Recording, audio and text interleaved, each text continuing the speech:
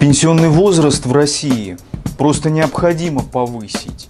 Разве в 55-60 лет человек уже старый? Наши граждане начинают задумываться о пенсионных выплатах уже задолго этого возраста.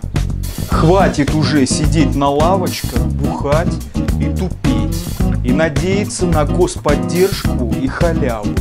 Советское время уже давным-давно закончилось.